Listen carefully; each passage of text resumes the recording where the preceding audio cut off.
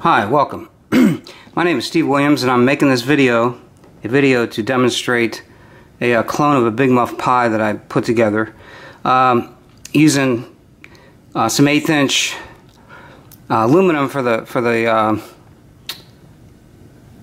for the box and a phenolic board with uh, soldering posts for all the components and I did it that way so I can change out components to, to tune the, the tone. As you can see, I have some vintage capacitors in there. Um, pyramid, um, some orange drops. These are, these are currently made capacitors, and uh, they're they're various values, but they're close to 0.1 for each stage of the distortion for this. But the reason I put it together was so that you can change out capacitors to suit your tone and transistors. I don't remember the exact value of the transistors I ended up using, but I used for the four stages I used three similar for the first three stages. And the last stage I used a, a uh, another one which I'll I'll write that all out as I as I go along with this putting this together. But anyway I, I wanted to demonstrate this.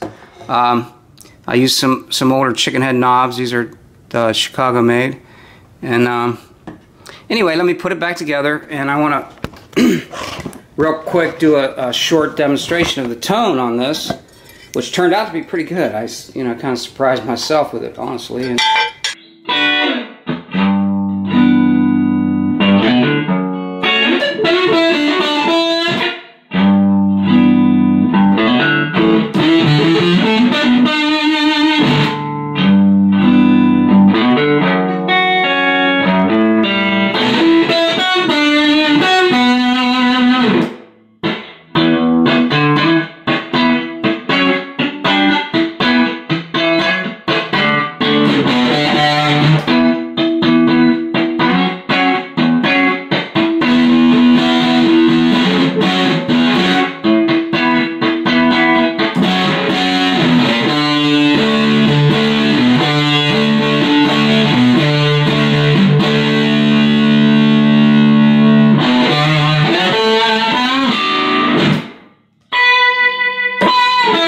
you.